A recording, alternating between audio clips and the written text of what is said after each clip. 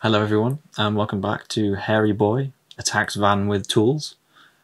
This is episode 6, uh, which is finishing the wall framing and framing the bulkhead, which is one of those things that a lot of van builds don't do because they take out the bulkhead. So maybe if you're a weirdo like me, you might be interested in this because you kept a bulkhead. The first thing, which is quite small, was just adding vertical supports to the upper parts of the walls.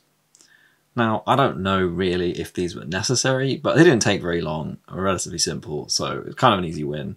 And I just used offcuts of the floor cladding floorboard that I used. Uh, I like layered up a few of those, and because I had sort of like two pieces of wood that, that weren't quite flush with one another, I could screw kind of in a bit of an angle and just kind of screw in and use some of the glue, the Soudal fix all turbo again, turbo, turbly furbles, turbo, turbo wubble wubble wobbles. Um, the Soudal fix all turbo, my adhesive of choice and what will be used to stick everything to everything. Yeah, I just I just used that again and kind of like wedged some blocks in and did some bits and bobs and I don't really expect that bit to be holding much weight. I just kind of wanted more places to screw into. I, I don't know if it was necessary. We we will see. Uh, but the, the the much more interesting part was doing the bulkhead. That was probably the bit that sort of pushed my woodworking skills a little bit further. Had a little bit more to do. Um, that's a bit of a challenge. I kind of had to. There's only there's like a couple of these sort of braces sticking out of the bulkhead that sort of obvious places to put wood, but they're at a weird angle. So I kind of put a really thin bit of batten in first and then ply on top of that. And I had to use ply with batten then stuck to it because the screws that I had were too short to get through any of my batten and get into the, the van properly.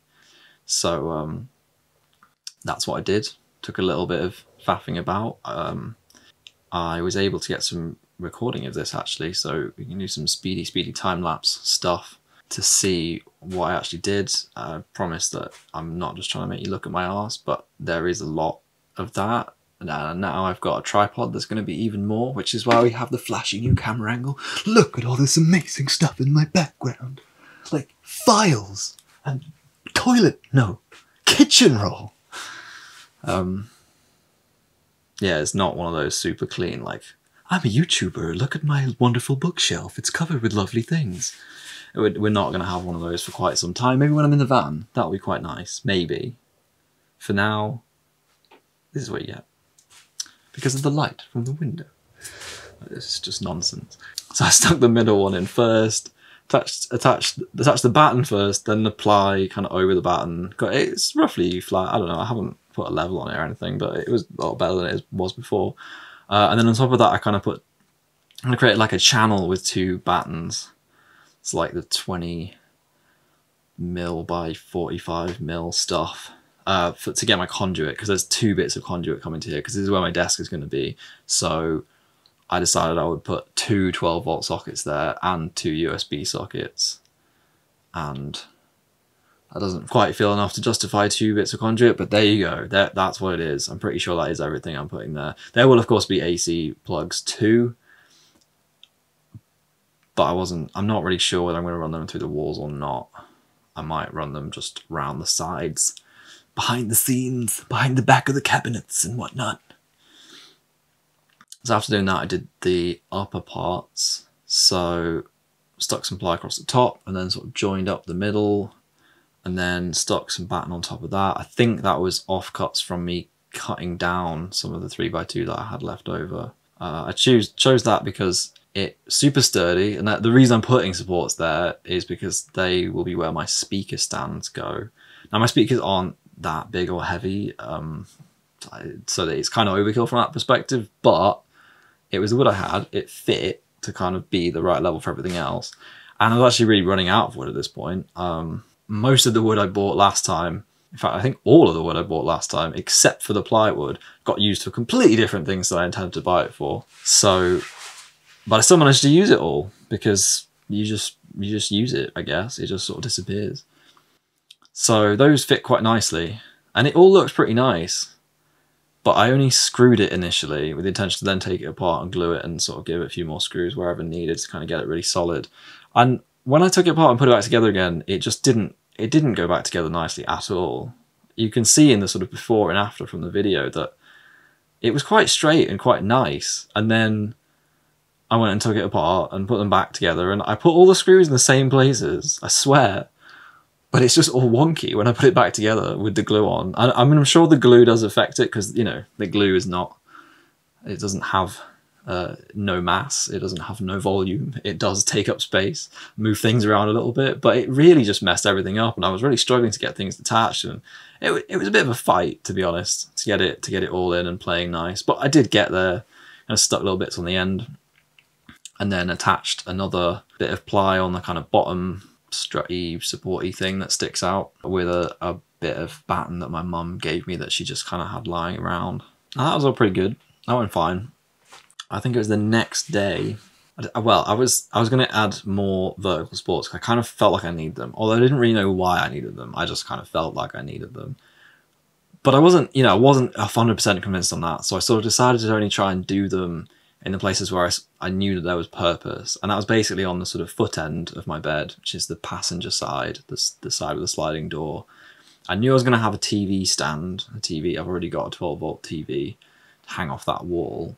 And I knew I was probably going to want some kind of guitar stand. Or that's kind of where I'm thinking I'm going to store my guitar, although I haven't figured out how to do that at all yet. So for those two panels in the verticals, I thought, well, you know, I'll try and put some wood here to give me a bit more of something to screw into so I've got slightly more options. I started with one at the bed end and the idea was kind of to, to take some wood and, and notch it to kind of create a support, be able to screw that in sort of through the grain rather than into the end so it was you know reasonably strong from both sides.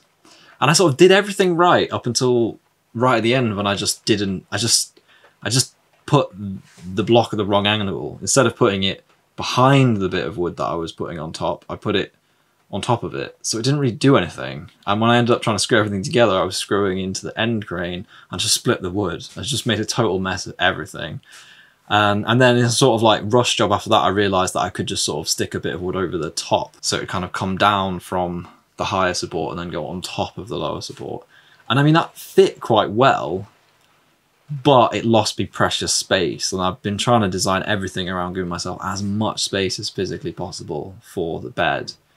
So yeah, I kind of did it and then I was like, mm, I don't, I don't think this is a very good idea. But by the time I really realized that I thought it was a bad idea, the glue had already set and there was no getting it off without cutting it off. So I left it there for now, or you know, for then. But I did cut it off later I only just left the top a little bit to give myself slightly more to screw into, but generally speaking, pretty much a disaster. And honestly, I don't even think there was any real reason to do it. I did it correctly for the one where I expect the guitar stand will be, and I've left that there because it's not really causing any harm. But you know, it's not great. It's not giving me that much more wood to screw into, and I, that whole process kind of made me decide that I don't really need to do that for everywhere else. If I really need more places to screw something into, I can build a frame on top of the wall that does screw in securely to the supports I've got behind because they're so strong and so secure that you know if I put a, a, strong frame on top of it that's that'll be more than enough for whatever I need and I might not even need it so you know a day of kind of flailing and failing and feeling like I'm spinning my wheels at least it led to making a decision to do a lot less work. And it's always great when you can make a decision to just not do work, just decide something that's is totally unnecessary. Like that's a win. That's obviously better than having got more done, really, because I wouldn't have got all of it done that day. So yeah, you know, largely speaking, fairly successful. And so, yeah, that kind of takes me to the end of, of what I'm covering in this video. Relatively short and simple one. Got a decent amount of footage of me actually doing the things, which is kind of nice. And there will be a lot more from this point on because in the next video, which is the solar panels, I actually received my tripod, my little Joby Gorilla Pod for mobile, which is what I'm using to record this. And I do rather like it. So there should be more footage of me actually doing stuff. I don't know whether that's doesn't matter where I put this thing, it's always just there. If I want to move my arms around, I'm just going to whack it. Yeah, there will be more video of me doing stuff. Next is going to be the solar panel install after I go out for a little expedition to get wood, which actually turned out to really take the piss because the wood yard didn't have what I wanted. B&Q were totally out of wood, so I had to go to three different places to get what I needed. That was fun. And definitely took an entire afternoon. Um, yeah, uh, Uh, as a YouTuber, apparently now I am obliged to tell you to like and subscribe if you like this, and we will be seeing you on the flippity floppity flap side. Oh, I don't know, man, sue me.